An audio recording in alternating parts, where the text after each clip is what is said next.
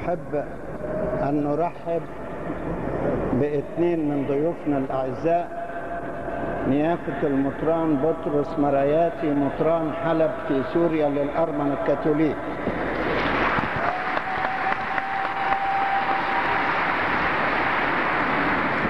والأب بول صياح مدير قسم الإيمان والوحدة Faith and Unity والسكرتير العام المشارك بمجلس كنائس الشرق الأوسط نرحب به.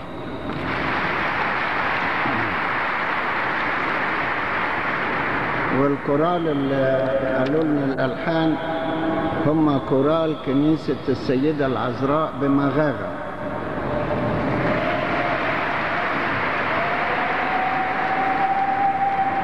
نجاوب شوية أسئلة بسيطة ونخش في الموضوع بتاعنا. بس عشان شغل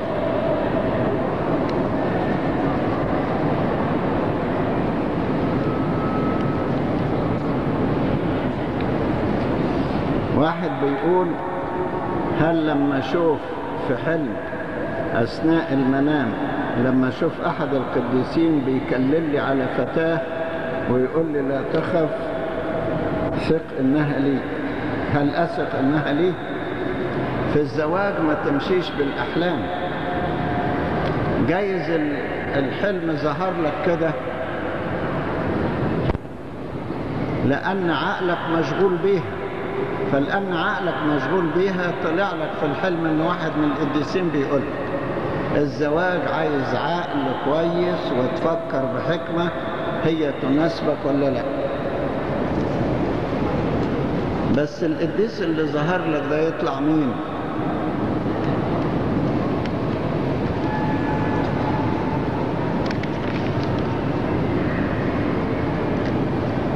بيقول أرجو أن تصدر لنا كتاب عن الصمت والكلام كما قلت في الكتاب الرابع من تفسير الوصايا العشر. إن شاء الله أطلع لكم الكتاب. هو التسويدة بتاعته أو الأصول بتاعته موجودة عندي بس عايزة وقت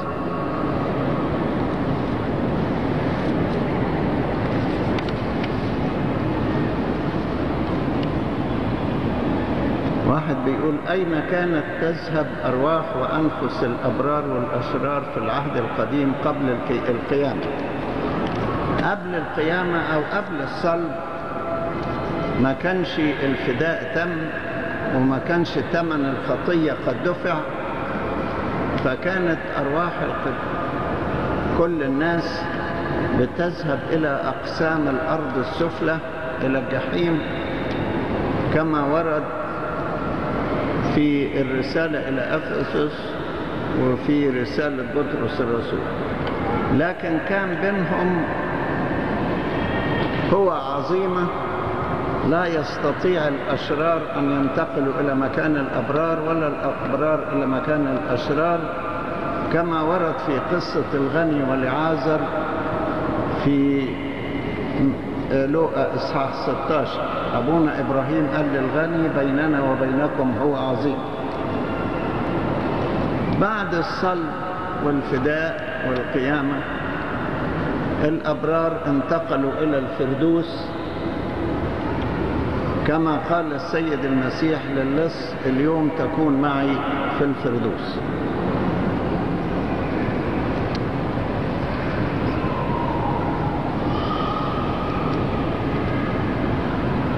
واحد كان سأل على عماد الناس الكبار فقلنا لهم الناس الكبار بنعمتهم بنلبسهم تونيا أو جلباب أبيض وبينزلوا المعمودية ما بيبقوش عريانين خالص عشان ما يكسفوش.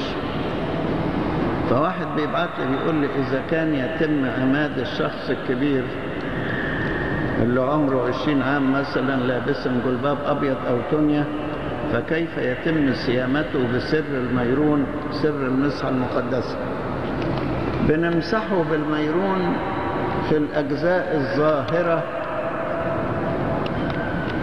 من جسمه يعني كل وجهه ودراعته إلى آخره. وممكن أن أحد الآباء الأسقفة يضع يده عليه وينفخ في وجهه ويقول له اقبل الروح القدس. وزمان كانوا بياخدوا الروح القدس عن هذا الطريق قبل ما توجد المسحة. المسحة دي عرفناها موجودة في يوحنا الأولى إصحاح 2 آية 20 وآية 27 لكن قبل كده كانوا بيضعوا الروح القدس بيسلموا الروح القدس بوضع الأيدي كما حدث في منح الروح القدس لأهل السامرة في أعمال إصحاح 8 بوضع أيدي القديسين بطرس ويوحنا وكما حصل في منح الروح القدس لأهل أفسس بوضع يدي بولس الرسول. يعني يوضع عليه اليد. واحد بيقول ما رأي قداستك في الآية التي تقول إذا كثرت الخطية ازدادت النعمة جدا. أفهمها إزاي؟ يعني لما تكون الحروب شديدة جدا الشيطان بيحاربك بقوة بتزداد القوة تلاقي قدر كبير من النعمة بيكون معاك عشان يحفظك من هذه الخطية. فلا تسقط يعني ما تتضايقش لما الحروب تشتد عليك لأن في نعمة كبيرة بتحيط بيك.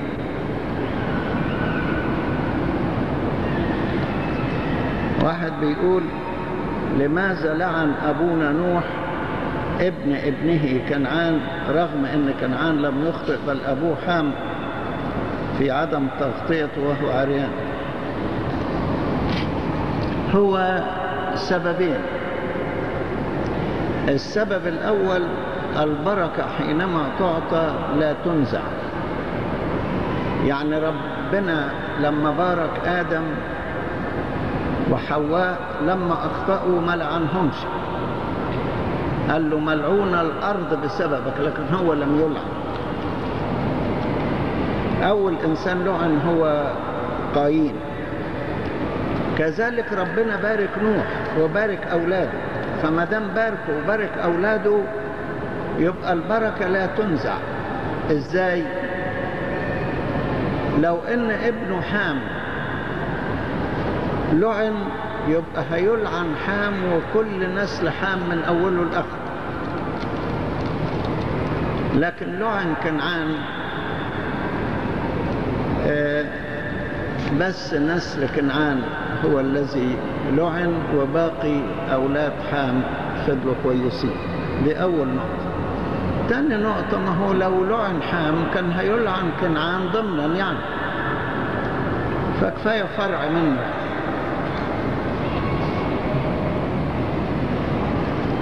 سؤال هل ترجم الكتاب المقدس إلى اللغة الصينية واليابانية؟ أعتقد أيوه. ده ترجم إلى لغات عديدة جدا.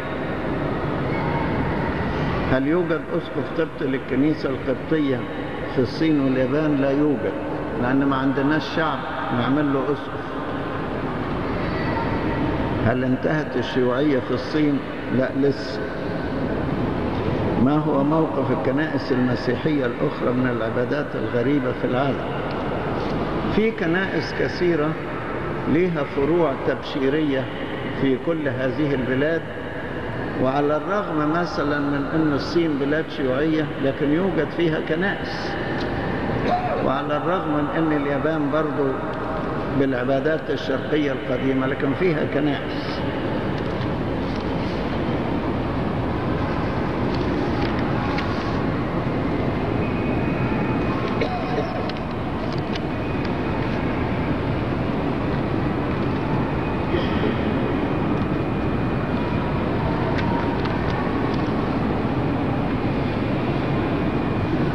واحد بيقول أنا شاب خجول خجول ومنطوي وليس لي أي نشاط في الكنيسة وبالطبع ليس لي أب اعتراف أحس معه أنه في بعض الأوقات يبكتني وبعض الأوقات يشجعني. لا يا حبيبي لما أنت تبقى خجول إيه اللي يمنع أن يكون لك أب اعتراف تروح لأب اعتراف وإن كنت خجلان من الخ... ومش عارف تتكلم. ممكن إن أب اعترافك يساعدك بشوية أسئلة علشان تقول اللي أنت عايزه. لكن هتخجل ليه؟ آه، حتى الناس اللي مش خجولين لما بيعترفوا ساعات بيخجلوا. معلش. كون إنك تبقى خجول وباستمرار منطوي ده مش كويس. اجتماعيا مش كويس. لازم تتعود يكون ليك أصدقاء يكون ليك بعض أحباء من الشبان اللي في سنك يكون ليك صداقة مع خدام الكنيسة خدام مدارس الأحد. يعني تتعود بالتدريج إنك تخرج من خجلك.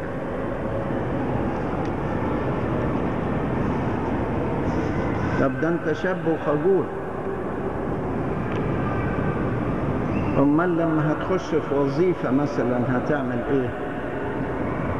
لما تشتغل في عمل من الأعمال هتكون خجول برضو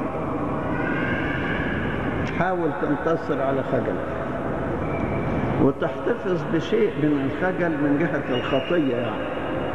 يعني مش تتخلص من خجلك كله تحتفظ بشيء من الخجل من جهة الخطية. لأن ساعات الخجل بيمنع الخطية برضه.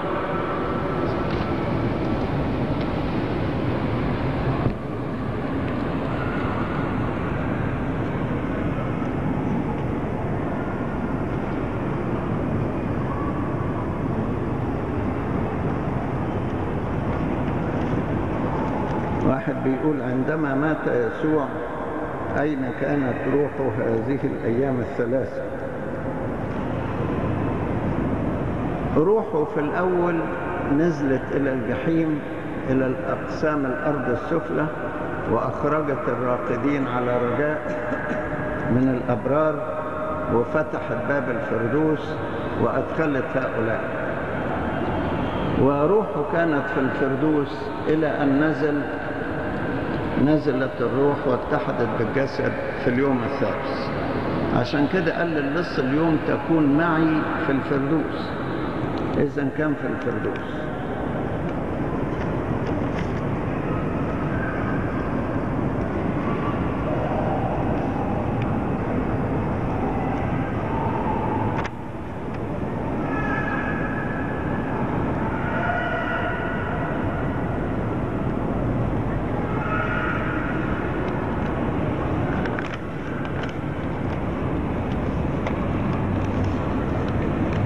واحد بيسألني عن مباراة الأهلي والزمالك.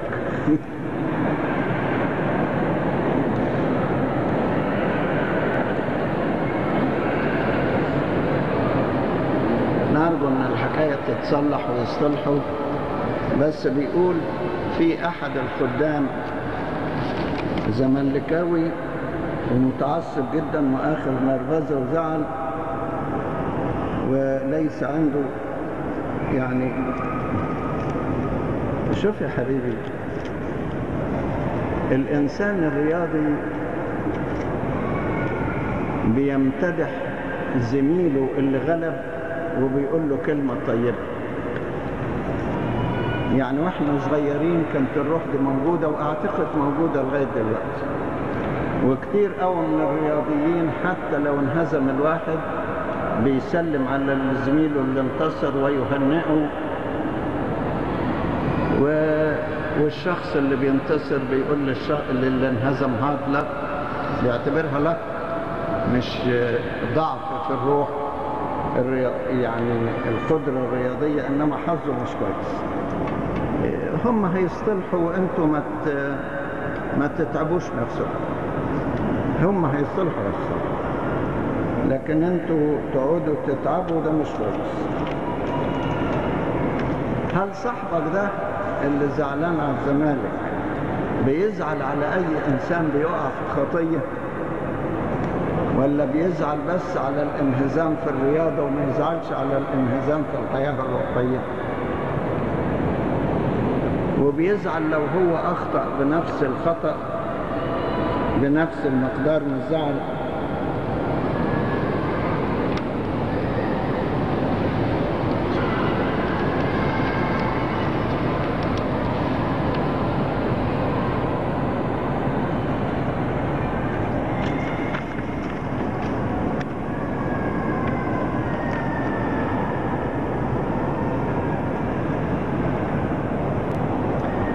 بيقول الرب يرعاني فلا يعوزني شيء فلماذا نصلي ونطلب بعض الحاجات المادية من ربنا؟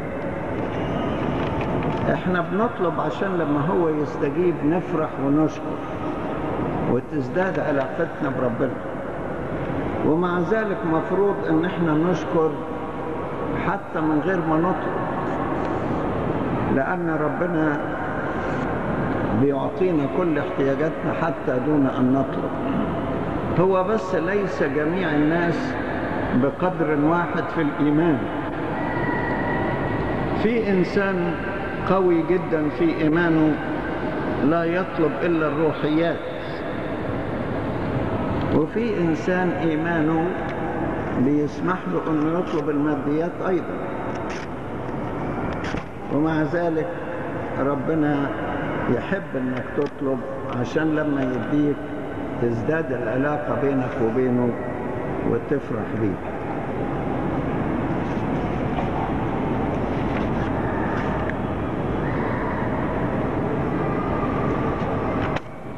واحد بيقول ما معنى الآية التي تقول تسجد له كل ركبة ما في السماء وما على الأرض وما تحت الأرض؟ هل يوجد تحت الأرض مخلوقات تسجد لله؟ أنا جاوبتكم كتير على السؤال ده هو في حاجات كتيرة تحت الأرض. طبعا في زماننا دلوقتي موجود حاجات كتيرة تحت الأرض. هو اللي في المناجم دول مش تحت الأرض واللي في الغواصات وفي البحر مش تحت الأرض واللي في الأندر جراوند في, في الأنفاق في المترو ما هو برضه تحت الأرض. لكن لعل المقصود بتحت الأرض الشياطين. وهم أيضا زي ما قال معلمنا يعقوب الرسول يؤمنون ويقشعرون يعني عارفين إن ده ربنا. لكن العبارة كلها تسجد له كل ركبة ما في السماء وما على الأرض وما تحت الأرض. يعني لاهوته يشمل جميع الكائنات وجميع المخلوقات.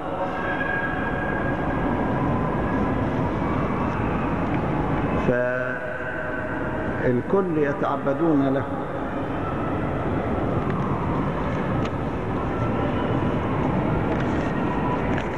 أنا قلت لكم الحكاية دي مرة زمان.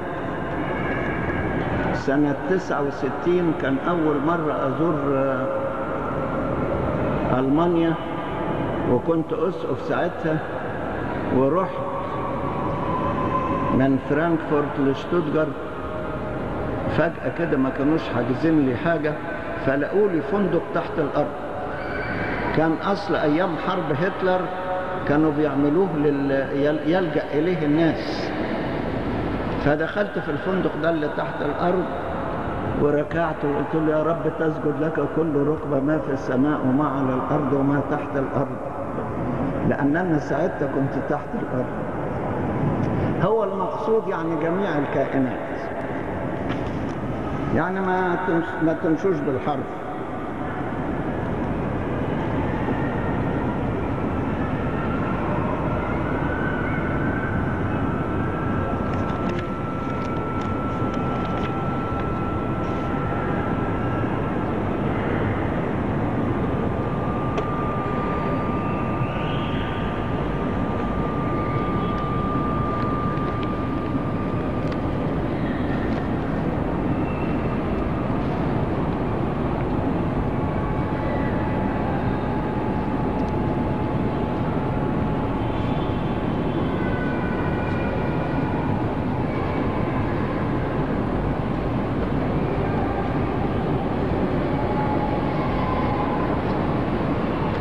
واحدة بتقول أنا مخطوبة من حوالي أربع شهور ونصف ولم أوفق في خطبتي مع خطيبي لأسباب كثيرة أهمها كذا وكذا وهو معارض تماما على الكشف والعلاج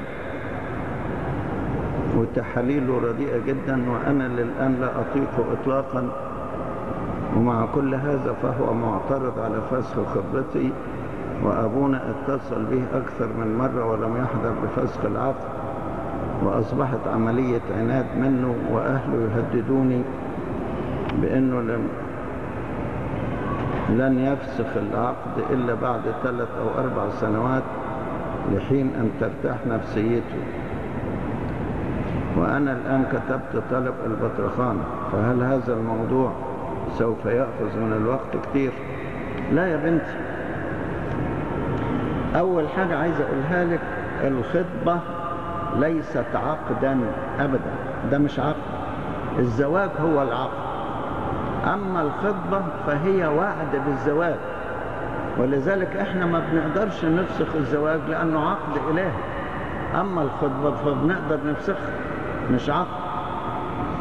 هو كل ما في الحكاية إن على حسب القانون بتاع الأحوال الشخصية إن لما لما فسخ الخطبة يجي من الزوج يبقى يتنازل عن الشبكة لما يجي من الخطيبة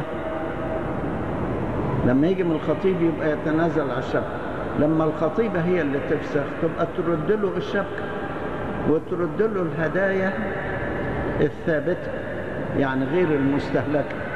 يعني إدها خاتم إدها أي هدية كده ساعة ولا أي حاجة ممكن الهدايا دي.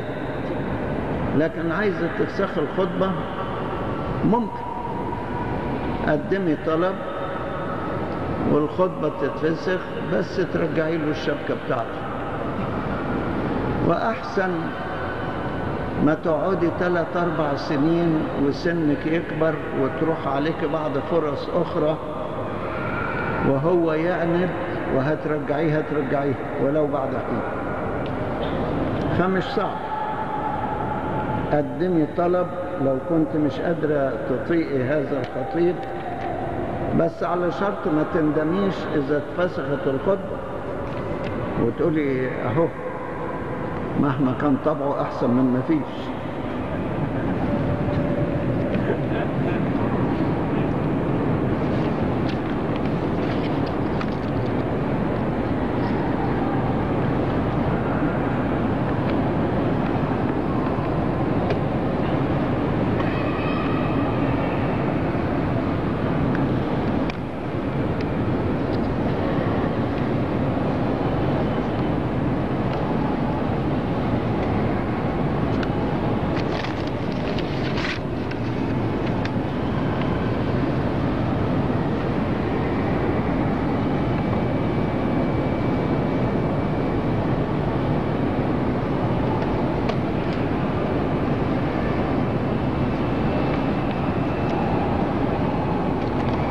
ربنا السؤال. جوابه ربنا يغفر لك ويكون معاك بس تمشي كويس من أول دلوقتي.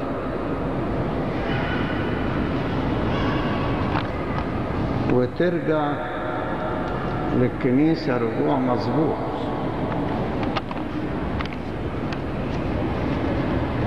هكلم لك ال- الأب الكاهن المختص لحل مشكلتك.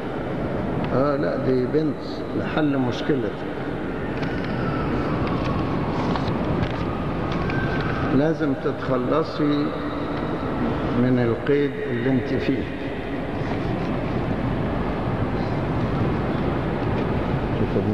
لسه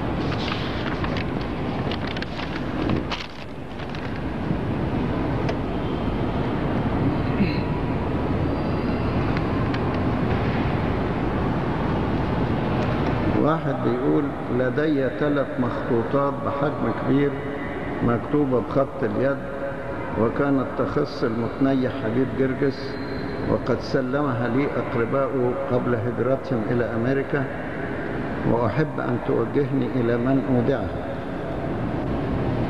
والمخطوطات عبارة عن كتاب دسكولية وقوانين رسل مكتوبة بواسطة آباء رهبان في عندنا متحف لحبيب جرجس في البطرخانة هنا بنحط فيها حاجاته اللي خلفها.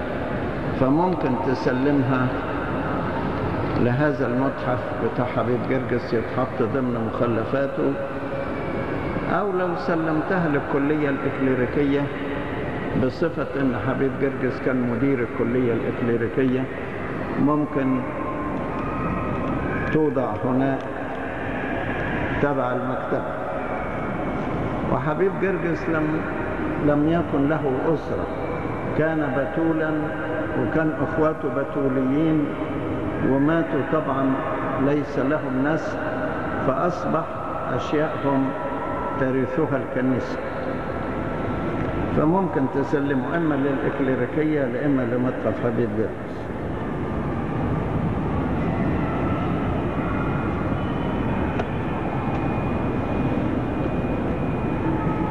واحد بيسأل سؤال بيقول ما معنى كلمة أرثوذكس جوس؟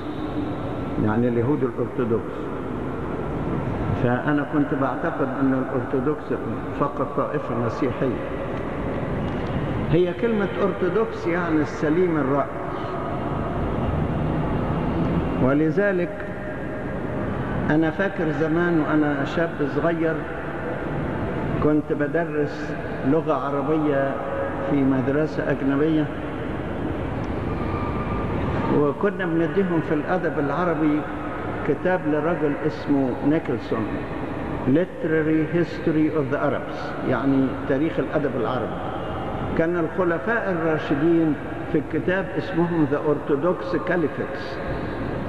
يعني الخلفاء الأرثوذكس اللي هم الخلفاء الراشدين بيترجموا بالإنجليزي كده.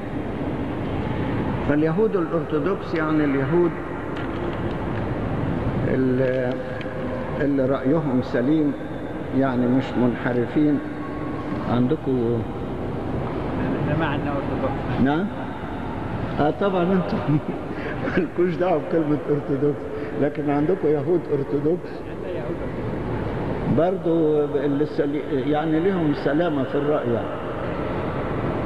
ولا تسموهم كاثوليك جوز؟ تؤدي نفس المعنى. تمام متشكر.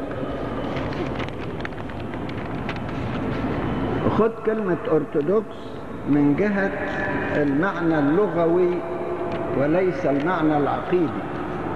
المعنى اللغوي وليس من جهة المعنى العقيدي. نكتفي بالأسئلة دي وبعدين نخش في موضوعنا. يا دوبك نقول الترتيلة بتاع دقيقتين ثلاثة ما تزيد ما يزيدوش عن كده.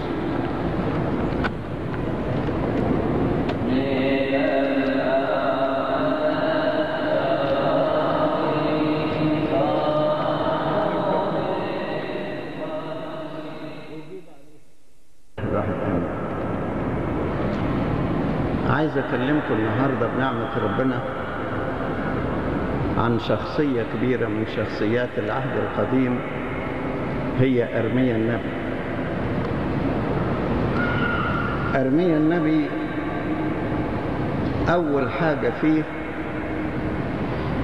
إن ربنا اختاره قبل أن يولد. اختاره وهو في بطن أمه.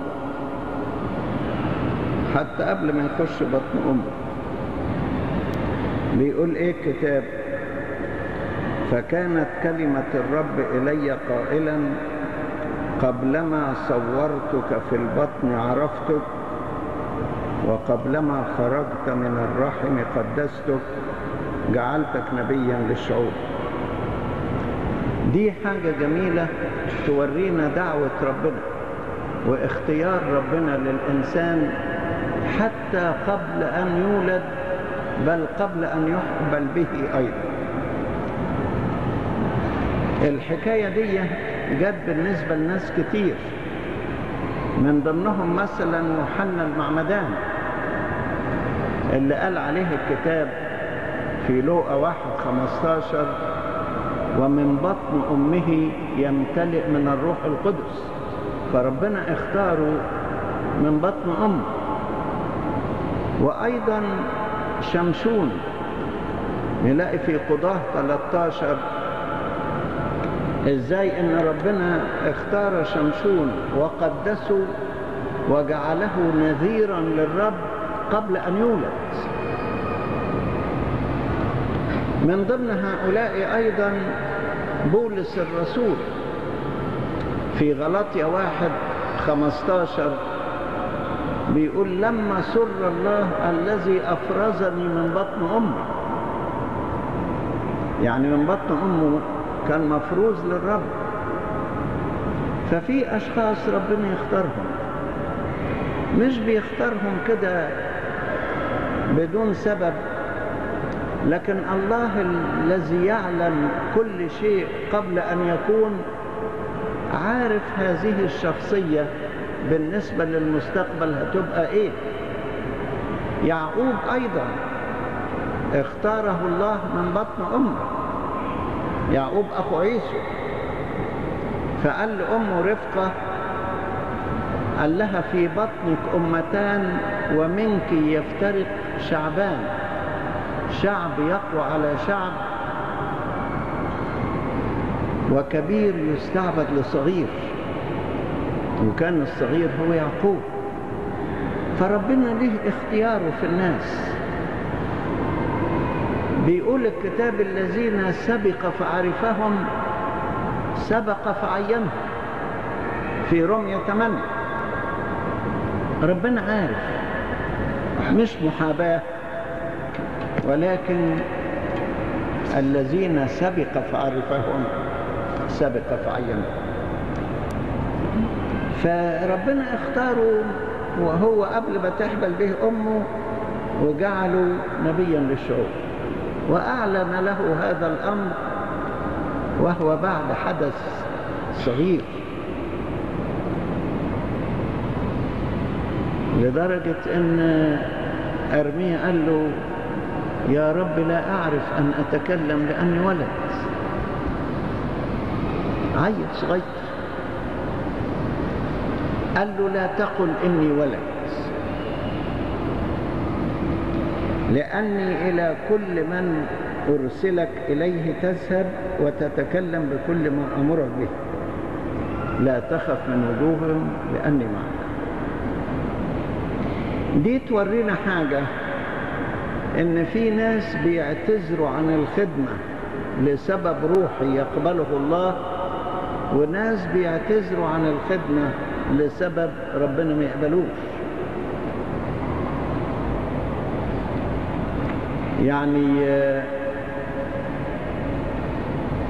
أرميا ما اعتذرش عن الخدمة لأنه لا يريد الخدمة إنما هو شاعر بضعفه. موسى أيضا اعتذر عن الخدمة لأنه شاعر بضعفه. قال أنا إنسان أغلى في الشفتين لست صاحب كلام لا اليوم ولا أمس ولا قبل من أمس. لكن في ناس بيعتذروا عن الخدمة لأنهم ما بيحبوش يخدموا.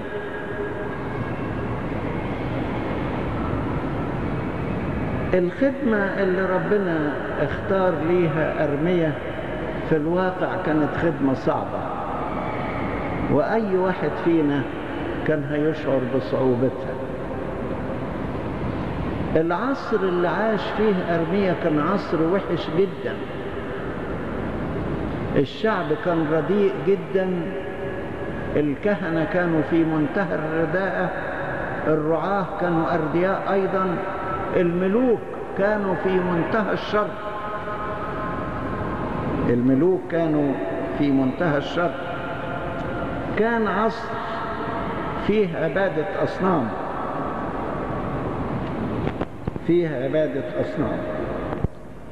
وفي ملوك كانوا سلكوا في عبادة الأصنام إلى أسوأ النواحي لدرجة أن ربنا غضب على الشعب وأراد أنه يفنيه أو على الأقل يسلموا لأيدي أعدائه. لأيدي أعدائه. من ضمن الناس دول مثلا منسى. كان أحد الملوك اللي عاصرهم أرمية بيقول الكتاب عن منسى إنه عاد فبنى المرتفعات التي هدمها حزقية أبوه وأقام مذابح للبعليم وعمل سواري وسجد لكل جند السماء وعبدها وبنى مذابح في بيت الرب الذي قال عنه الرب في أورشليم يكون اسمي فيه وبنى مذابح لكل جند السماء في داري بيت الرب وعبر بنيه في النار في وادي بني هنوم وعاف وتفاءل وسحر واستخدم جانا وتابعة أكثر من عمل الشر في عيني الرب ووضع تمثال إلى آخره. ده من ضمن الناس اللي عاشوا بالشكل ده. وبعدين جم اللي بعده بقى, بقى أشر منه برضه. يعني من ضمنهم من ضمنهم مثلا يهوياكين وده عاشر أرمية. يقول عمل الشر في عيني الرب ولم يتواضع أمام أرميا النبي من فم الرب وتمرد أيضا وصلب عنقه. وقوى قلبه عن الرجوع إلى الله حتى إن جميع رؤساء الكهنة والشعب أكثروا الخيانة حسب كل رجاسات الأمم ونجسوا بيت الرب إلى آخره. أرميا أرسل إلى هؤلاء الناس. أحيانا ربنا يكلف شخص برسالة صعبة ونشوف إيه طاعته. يعني الكتاب بيقول طوبى لأقدام المبشرين بالخير. لكن واحد زي أرمية ربنا يرسله يقول لهم أنتوا ربنا هينتقم منكم. أنتوا ربنا هيسلمكم إلى أيدي أعدائكم. أنتوا هتقعوا في السبي أنتوا هيجرى لكم هيجرى لكم يقولوا له طب خد على رأسك. مفيش غير كده. فأصبح الرسالة اللي هو أرسل بيها مش رسالة تبشير مش رسالة طيبة هي رسالة إنذار إنذار لشعب شرير وطبعا الشعب الشرير اللي هينذرهم هينتقموا منه وهيتعبوه. وفعلا عملوا معاه حاجات كتير من هذا النوع. شوفوا ربنا قال لأرميا إيه قال له أنا خليتك نبي للشعوب. نبي يعني تعمل إيه؟ هذه رسالتك كنبي. قال له قد جعلت كلامي في فمك انظر قد وكلتك اليوم هذا اليوم على الشعوب وعلى الممالك لتقلع وتهدم وتهلك وتنقض وتبني وتغرس. طب واللي هيقلعهم دول هيسيبوه؟ واللي هيهلكهم هيسيبوه؟ واللي هينقضهم هيسيبوه؟ كلهم هيقفوا ضده. طب وبعدين دول ناس أكبر منه. وبعدين قال له ما تخافش ما تخافش منهم. لا ترتع من وجوههم لئلا أريعك أمامهم. ها أنا ذا قد جعلتك اليوم مدينة حصينة وعمود حديد وأسوار نحاس على كل الأرض لملوك يهوذا ولرؤسائها ولكهنتها ولشعب الأرض فيحاربونك ولا يقدرون عليك لأني أنا معك يقول الرب. اللي هيحاربوه مين دول؟ ملوك يهوذا ورؤسائها وكهنتها وشعب الأرض. هيقف قصاد كل دول يحاربوه. طب يا رب ما تعفيني من الناحية دي وأنا مش قدها. ده أنا ولد لسه صغير. ما تخافش وروح. أروح أقول لهم هتهلكوا. وده كلام ده. أروح أقول لهم. هتلقوا في السبت. روح. وأنا هبقى معاك. حالة الشعب في ذلك الحين كانت حالة سيئة. في أرمية 2 12 و 13 ربنا بيقول ابهتي أيتها السماوات واقشعري من هذا جدا أيتها الأرض لأن شعبي عمل شرين تركوني أنا ينبوع المياه الحية وحفروا لأنفسهم آبارا آبارا مشققة لا تضبط ماء ووصل الأمر بربنا أنه ما كانش لاقي في هذا الشعب شخص واحد بس. هو قال هيهلك أورشليم. وبعدين قال في أرمية خمسة واحد ألطوفوا في شوارع أورشليم. وانظروا واعرفوا وفتشوا في ساحاتها. هل تجدون إنسانا أو يوجد عامل بالعدل طالب الحق فأصفح عنها يعني أيام سادوم ربنا قال لو وجد عشرة لا أهلك المدينة من أجل العشرة دلوقتي ربنا بيقول إن لقيت واحد بس لا أهلك المدينة من أجل الواحد. مفيش. في أرمية 23 14 و 15 بيقول صاروا كلهم كسادوم وسكانها كعمورة. ها أنا ذا أطعمهم إفسنتينا وأسقيهم ماء الأرض وفي أرمية عشرة بيقول لأن الرعاة بلدوا ولم يطلبوا الرب من أجل ذلك لم ينجحوا وكل رعيتهم تبددت. في أرمية 13 يقول هذا الشعب الشرير الذي يأبى أن يسمع كلامي الذي يسلك في عناد قلبه ويسير وراء آلهة أخرى ليعبدوها إلى أن وصل الأمر بربنا في أرمية 14 وأرمية 7 رب ربنا قال لأرمية لا تصلي من أجل هذا الشعب ولا ترفع من أجلهم طلبة ولا محرقة. فإني لا أسمع لك. ما تصليش من أجل الناس الأشرار دول. فأنا لا أسمع ليك. كان غضب ربنا اتقد وبعته عشان ينذرهم. طب يا رب ما تشوف لي شغلانة أحسن من دي. أنا هروح بس كده لل... للناس الأشرار دول. أهي دي رسالتك يا أرميا اوعوا تفتكروا يعني واحد يقول يا سلام. لو كنت أنا نبي كان يبقى آخر تمام. لو كنت أنا رسول من الرسل كان يبقى آخر تمام. ده آخر تمام إيه؟ دي آخر بهدلة. هو ده اللي حصل. زي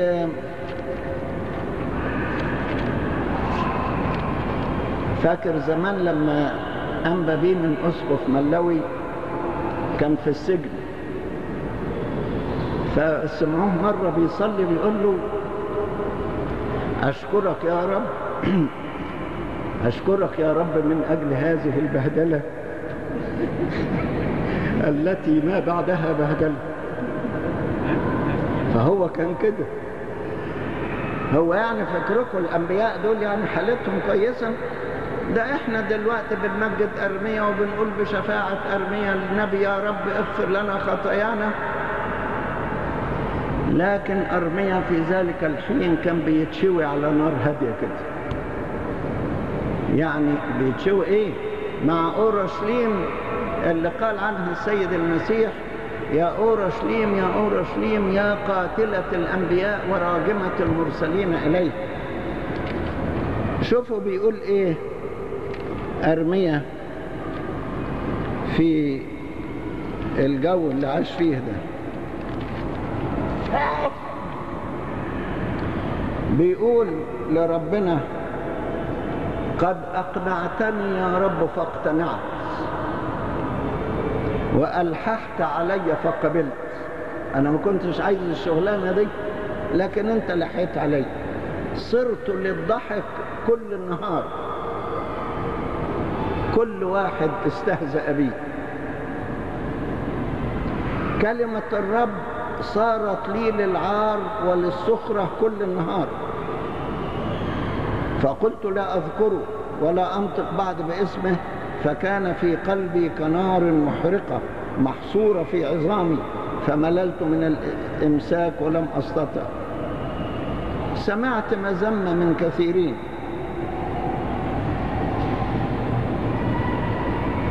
وبعدين قال إيه؟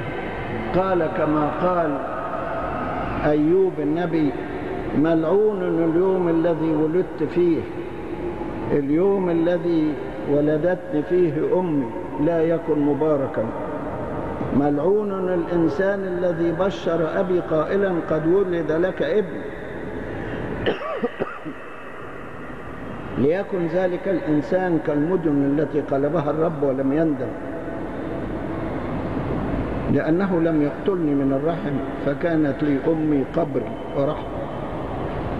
تعب ربنا بيبعته برسائل متعبة.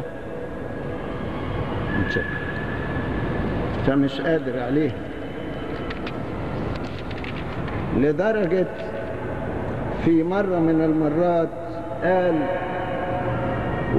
ويل لي يا أمي لأنك ولدتني إنسان خصام وإنسان نزاع لكل الأرض.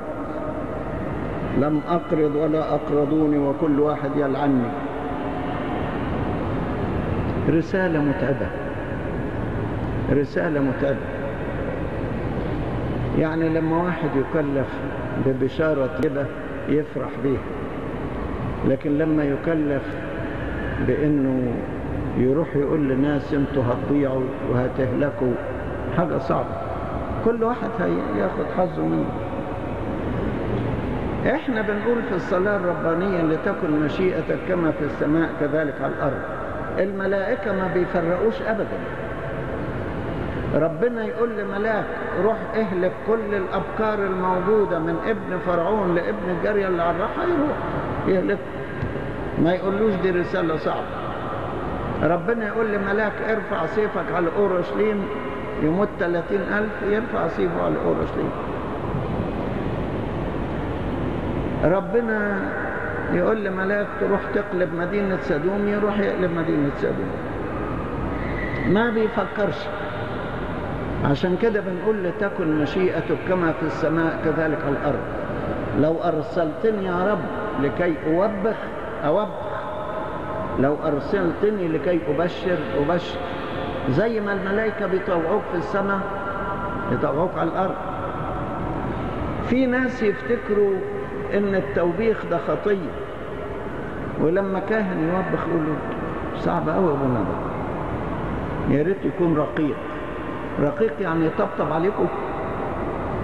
مشيت غلط. يقول لك أنت حلو يا ابني وشاطر وأنا مبسوط منك. لازم يوبخ ربنا كان بعت ارميا عشان يوبخ وكان توبيخه للناس رسالة مقدسة لازم يوبخ بولس الرسول قال لتلميذه تيموساوس عز وبخ انتهر لازم يوبخ ربنا أهلك عالي الكاهن لأنه لم يوبخ أولاده ولم يربيهم كما ينبغي. في الدسقلية يقول أيها الأسقف كما أنك أعطيت سلطانا أن تحل أعطيت أيضا سلطانا أن تربط. آباؤنا الرسل كان وقت التوبيخ بيوبخوا. معلمنا القديس بطرس الرسول وبخ سيمون الساحر وضربوا ضربة ضيعته. وبخ حنانيا وسفيرة وضربهم ضربة ماتوا. في بولس الرسول بيقول في تيموساوس الأولى إصحاح خمسة الذين يخطئون وبخهم أمام الجميع لكي يكون عند الباقين خوف. لكن لما الكنيسة دلوقتي تدلل أولادها أخطأوا تدللهم قصروا في, في الممارسات الروحية تقول لهم مساكين إحنا في عصر التكنولوجيا مساكين ما يحتملوش الصوم ما يحتملوش كذا. لا دي, دي ما ينفعوش. يطلعوا عيال مدللين لا يصلحون للملكوت. أنا مرة قلت لكم في محاضرة قلت لكم ملكوت السماوات عايز عايز رجال يعني ناس أقوياء. برضه في ستات زي الرجال يعني. يمشوا تمام. يعني تلاقي عزيمتهم قوية. لكن لما إحنا ندلل الناس لا لا يصلح هذا لملكوت السماوات ربنا بعت أرمية لكي يوبخ. الحالة سيئة؟ معلش. معلش. ومع ذلك أرميا كان صعبان عليه الحكاية دي. دي, دي ما كانتش سكته. هو ما كانش في باله إن يسلك هذا الأمر. ربنا يبعته يوبخ شعبا شريرا وقاد أشرار ويتخاصم معاهم ليل ونهار. دي ما كانتش رسالته. ولذلك نجد إن هو في وقت اعترف بالحقيقة دي. قال إيه؟ قال له عرفت يا رب أنه ليس لإنسان طريق ليس لإنسان يمشي أن يهدي خطواته. مش مش أي إنسان بيقدر يتصرف في حياته. ربنا مثلا لقى واحد زي إيليا النبي كان راجل عابد على جبل الكرمل وعايش في حياة وحدة وهدوء. خده؟ وقال له تروح ضد آخاب ضد أنبياء البعل ضد السواري. حول له شخصيته في اتجاه ما كانش عايزها موسى النبي كان رجلا وديعا هادئا جدا. قيل عنه في سفر العدد إصحاح 12 آية 3 وكان الرجل موسى حليما جدا أكثر من جميع الناس الذين على وجه الأرض. ربنا خده وقال له تعالى يا موسى أنا هسلمك لشعب صلب الرقبة وشعب عنيد. شعب أنا قلت عنه مددت يدي طول النهار لشعب معاند ومقاوم. تمسك الشعب ده وتقول ما إحنا كنا كويسين يا رب عندنا شوية غنمات في البرية والواحد ماشي مبسوط. قال له هو كده. السيدة العذراء مريم ما كانتش تفكر في يوم من الأيام إنها تبقى أم وتحبل وتربى ربنا قال لها قالت له ليكن ليك قولا. ليس للإنسان طريقه. ربنا بياخد كل واحد مننا ويحطه في السكة اللي ربنا عايزها مش اللي إحنا عايزينها. جايز راهب يحب الهدوء والسكون وحياة الصلاة والتأمل. ربنا ياخده ويقول له أخليك ترعى شعب طب أنا مش قد الشغلانة دي وأحسن لي السكون والتأمل. تقول لي يكن ليك قول أهو أرمية اتحط في حاجة من النوع ده. رسالة مهاجمة وإنذار. يهاجم الأنبياء الكذبة يهاجم الكهنة يهاجم الرعاة يهاجم الشعب المخدوع. ربنا قال له كده يبقى لازم يمشي كده.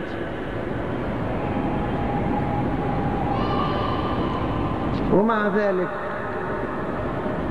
ربنا ما قالوش آه بس تنذر قال له تدعو الناس للتوبة برضه. يعني ربنا فيما كان ينذرهم كان يدعوهم إلى التوبة. اداله بعض أمثلة. اداله مثل الفخاري وده مثل لطيف في أرمية 18 قال له إيه؟ قال له انزل إلى بيت الفخاري وهناك أسمعك كلام فنزل. بيقول لك وإذا الفخاري يصنع عملا على الدولاب بتاع الفخاري ففسد الوعاء الذي كان يصنعه من الطين. بيد الفخاري فعاد وعمله وعاء آخر كما حسن في عينيه. يعني بياخد حتة طين يصنعها فازة مثلا تلفت يعجنها من أول وجديد ويعملها. فقال له الرب هو ذا كالطين بيد الفخاري أنتم هكذا بيدي يا بيت إسرائيل. تارة أتكلم على أمة وعلى مملكة بالقلع والهدم والإهلاك فترجع تلك الأمة التي تكلمت عليها عن شرها فأندم على الشر الذي قصدت أن أصنعه به. يعني دعوة للتوبة أنت تنذرهم وتقول لهم أنتوا هتهلكوا. فلو رجعوا زي الفخاري فسدت منه قطعة الطين رجع يعملها من أول وجديد. وبعدين اداله مثل آخر. مثل المنطقة التي فسدت ولم تعد تصلح لشيء. قال له برضو ده على الشعب. ومثل الإبريق اللي كسر. فأول ما كسر الإبريق ده قال له لا يصلح بعد لشيء هو الشعب بتاعكم كده. ثم تكسر الإبريق أمام أعين القوم الذين يسيرون معك وتقول لهم هكذا قال رب الجنود هكذا أكسر هذا الشعب وهذه المدينة كما يكسر وعاء الفخار بحيث لا يمكن جبر بعض. ويدفن. يعني انذار. في ناس لما ربنا ينذرهم يخافوا. وفي ناس لما ربنا ينذرهم يقاوموا ويشتغلوا. شغل شديد. اللي حصل بالنسبة لأرمية أنهم أبغضوه. أبغضوه واستهزأوا به وقال صرت للضحك كل النهار. ومش بس كده. ألقوه في الجب فغاص في الوحد. رموه في السجن. ضربه أحد الكهنة. سجنوا في المقدرة. برضو تنبأ ضده.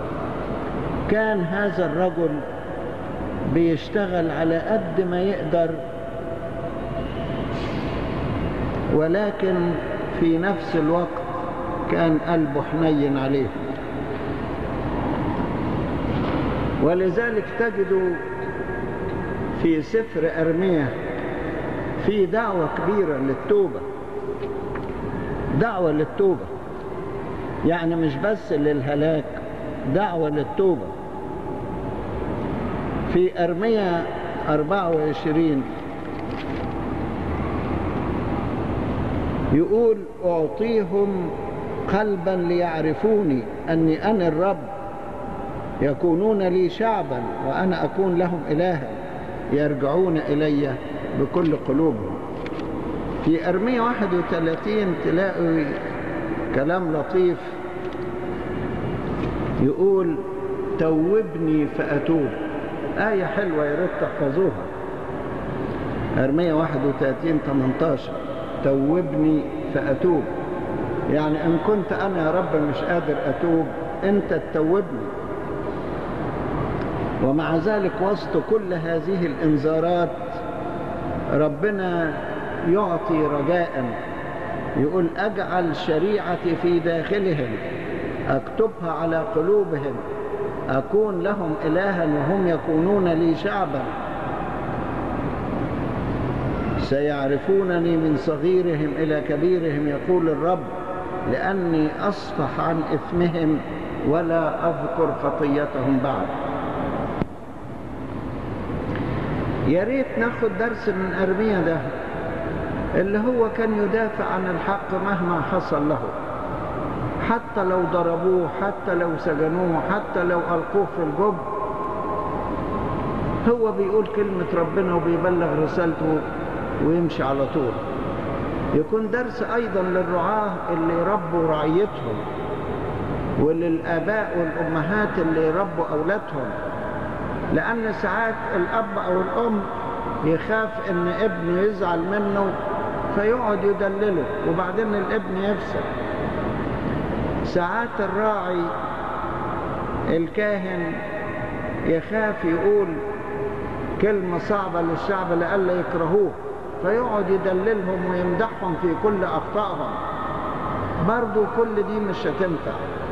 لازم الواحد يقول كلمة الحق زي أرمية مهما قاس في سبيله وفي نفس الوقت يفتح الباب للرجاء.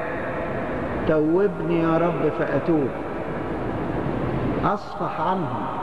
لا أذكر خطاياهم بعد. وتورينا أيضا أن الإنسان اللي يعيش في جيل شرير مش معناها يبقى شرير زيه. أهو العيش بت... الجو بتاع أرمية والجيل بتاع أرمية كان كله شر. لا يوجد فيه شيء كويس. وأخيرا ربنا ألقاهم في السبت. ليه؟ من أجل الشر اللي موجود. ومع ذلك وجد أرميا شاهدا للحق في ذلك الجيل. أنا ساعات أقول له يا رب طب ما دام أنت عارف إنهم هلكانين هلكانين ضايعين ضايعين طب بتبعت لهم ارميه ليه؟ ما هو ده ما فيش فايدة فيهم. لابد ربنا ينذر حتى لو كان ما فيش نتيجة. الزرع لما الزارع خرج ليزرع حتى الأرض المهجرة نزل عليه بذور. حتى الأرض اللي فيها شوك نزل عليها بذور. ولكن لابد أن يعطي فرصة لكل أحد. كان أرميا في العصر السابق للسبي وعاصر السبي أيضا. وعاصر أيام نبوخذ نصر. وكان شاهدا للحق في جيله